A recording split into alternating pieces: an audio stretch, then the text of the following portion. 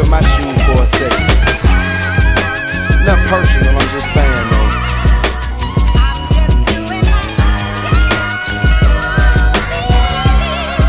Hey, look. Because there are some characters out there, and they are characters um, that aren't necessarily insured. They're not necessarily licensed. We call them chuck in a truck sometimes, and it, actually, a chuck in a truck could be insured and licensed, but yeah. but some of these people aren't. There's a problem out there with this, right?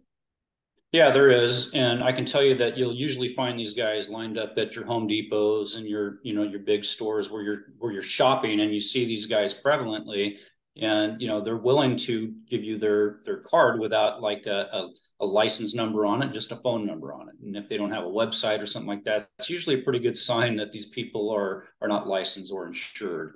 Um, and, and it's a big problem in our industry because it uh, really keeps pricing inconsistency out there people don't really know what they should be paying for the type of services that we're providing. Um, and then, of course, there's no repercussion for you, the homeowner, if something goes wrong within your home. Sure. So, a licensed plumber, if something happens, the the homeowner has some recourse. They can contact the state, and the state says, "Yeah, we have a leash on them. We know who they are."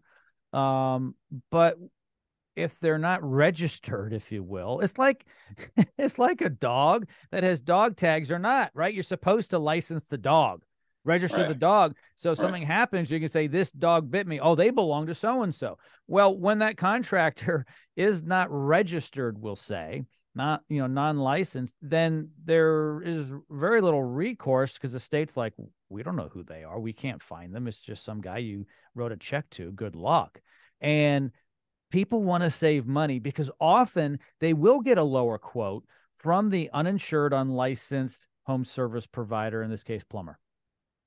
Yes, and that's that's very common in a lot of the states that are what we call the right to work states, where uh, anybody can go out and do X amount of work for up to a certain amount without a license. So there's a lot of these companies out there, or what we call uh, what they call themselves a company. They're just they're not really a company. They're just a, a, somebody out there providing a service, and they're and, and, they're circumventing what the actual laws are. And that's why it's important to really you know hire somebody that's licensed and insured because we do know law. We do know what we're you know what we're supposed to charge up front, what we can take from you, what we can't do at your home.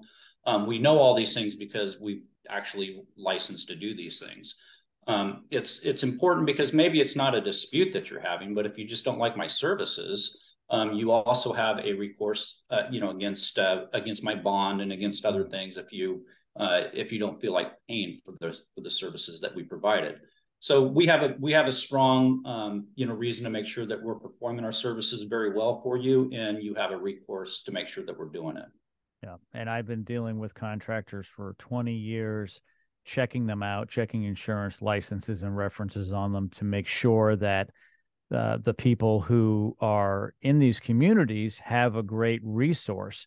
And it's really important. Do not try to save money on a professional job.